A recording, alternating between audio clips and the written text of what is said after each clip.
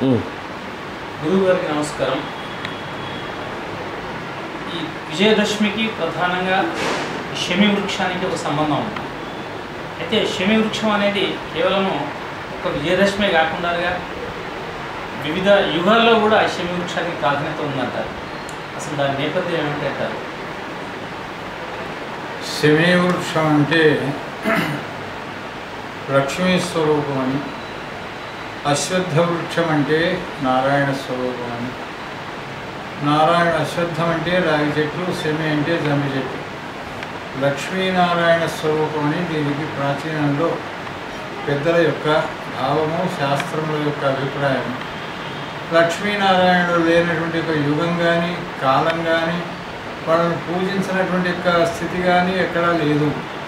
అందుకే యజ్ఞయాగాదులలో కూడా యజ్ఞంలో వాడేటువంటి అగ్నిహోత్రానికి శమీ వృక్షం యొక్క పైభాగంలో ఉండేటువంటి యొక్క కొయ్య అశ్వత్థ వృక్షం యొక్క పీఠాన్ని పెట్టి దానికి ఒక పేరు పెట్టిన దాని పేరు అరణి పాత్ర ఈ లక్ష్మీనారాయణ యొక్క కలయికతో వచ్చినటువంటి ఒక అగ్నిహోత్రం ద్వారానే యజ్ఞయాగాదులలో ఆ అగ్నిని ఉపయోగించి గోభృతం చేత వివిధ రకాల సమృద్ధమైన సమిధల చేత సుగంధ ద్రవ్యాల చేత హోమాలు చేసి లోక కళ్యాణార్థమై పెద్దలు ఋషులు ప్రాచీన నుండి నేటి వరకు కూడా యజ్ఞయాగాదుల్లో ఆ వస్తువులను ఉపయోగిస్తారు. అది మండడానికి ఉపయోగపడే అగ్నికి బాలాగ్ని అని పేరు. దాన్ని అరణి పాత్ర ద్వారా తీస్తారు. ఈ శమీ వృక్షానికి లక్ష్మీ సంబంధం కనుక లక్ష్మి కూడా అనేకమైనటువంటి యొక్క పేర్లు ఉన్నాయి.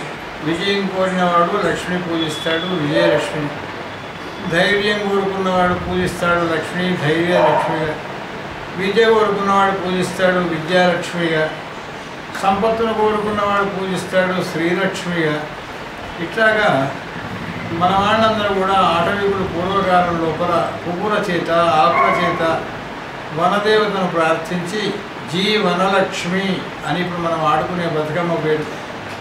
బ్రతుకమ్మ అంటే తెలుగులో బ్రతికించడానికి మనం బ్రతకడానికి ఉపయోగపడే అమ్మ. అదే దానికి కొంచెం నాగరికమైన పదాన్ని వాడితే జీవనలక్ష్మి అమ్మవారికి పేరు.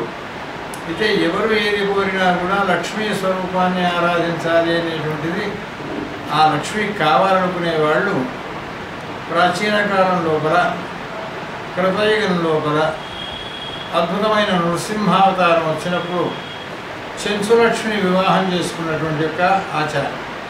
చెంచులకు ఆ కాలంలో అడవిలో ఉండే వాళ్ళందరికీ కూడా పూజనీయమైనటువంటి యొక్క వృక్షాలలో వృక్ష పంచకము అని పేరు. మర్రి మామిడి మేడి దువ్వి తర్వాత రాగి జంబి ఇవన్నీ వృక్షాలను పూజించేవాళ్ళు. వృక్షాలలోనే వనదేవతను చూసుకునేవాళ్ళు.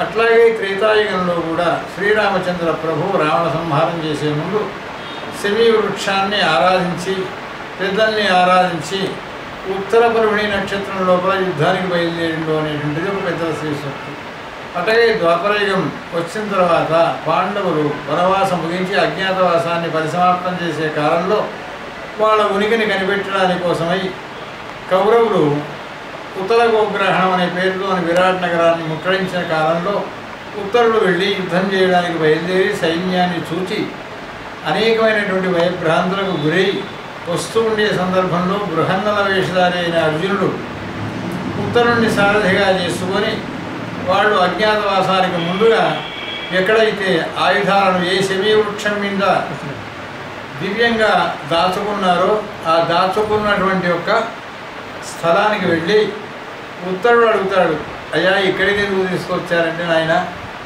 ఇక్కడ పూర్వంలో అజ్ఞాతవాసానికంటే ముందు పాండవులు ఆ శమీ వృక్షం మీద ఆయుధాలు పెట్టుకున్నారు. అందులో గాంధీవం అనేటువంటి ఒక ధనస్సు ఉంది. దాన్ని తీసుకొచ్చి నాకు ఇమ్మంటాడు అది నీకెందుకు అర్జునుడిది కదా అంటే అప్పుడు తన నిజ రూపాన్ని చూపిస్తాడు. ఉత్తర నీవు పట్టుకున్నటువంటి ఒక ధనస్సు చేత నేను విజృంభించి చేసే వీర విహారము నీ ధనస్సు తట్టుకోలేదు.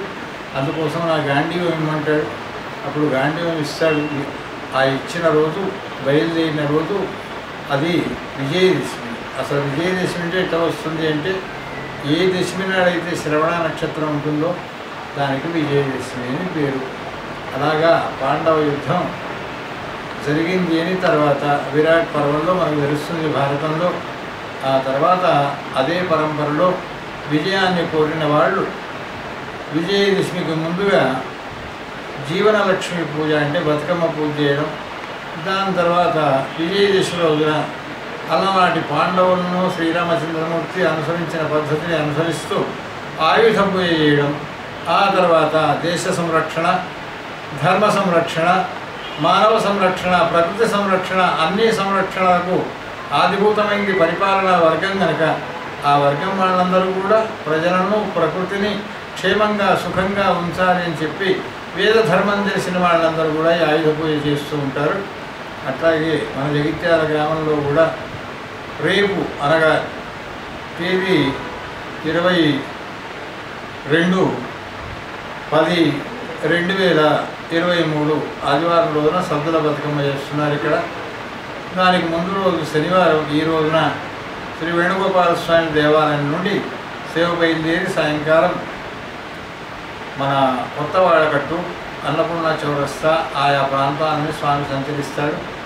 తేదీ ఇరవై మూడు పది రెండు వేల ఇరవై మూడు రోజున పగలు రెండు గంటల నుంచి మూడు గంటల మధ్యలో వేణుగోపాల స్వామి ఆలయం నుంచి సేవ బయలుదేరి పాత బస్ స్టాండ్ నుండి పోలీస్ స్టేషన్ దగ్గర నుండి అక్కడి నుంచి దంబిగద్ద దగ్గరికి వెళ్ళి సెమీ పూజ కార్యక్రమాన్ని అఫీషియల్గా ఉండే అధికారులు ఆరాధించిన తర్వాత అర్చకులు వాళ్ళకి ఆశీర్వచనం చేసి అక్కడి నుంచి ఊరేగింపుగా బయలుదేరి క్లాక్ టవర్ నుండి సర్దార్ సత్రం దగ్గర నుండి కొత్త బస్ స్టాండ్ దగ్గర నుండి బీటు బజార్ నుంచి ఆ తర్వాత పేదపాట నుంచి అక్కడి నుంచి రజక వీధి లడ్డూ కాజా బ్రాహ్మణ వీధి నుంచి మళ్ళీ ఆలయానికి చేరుకునేటువంటి యొక్క ప్రాచీన సనాతన సంప్రదాయాన్ని అనుసరించి స్వామి బయలుదేరుతాడు కనుక ఈ దసరా ఉత్సవం అందరికీ క్షేమాన్ని యోగాన్ని ఇయాన్ని భగవంతుని ప్రార్థన చేస్తూ సమస్తమైన ప్రజానీకమంతా కూడా ఈ ఉత్సవంలో శాంతియుతంగా పాల్గొని పరస్పర ప్రేమాను రాగాల చేత అద్భుతమైనటువంటి భక్తి శ్రద్ధల చేత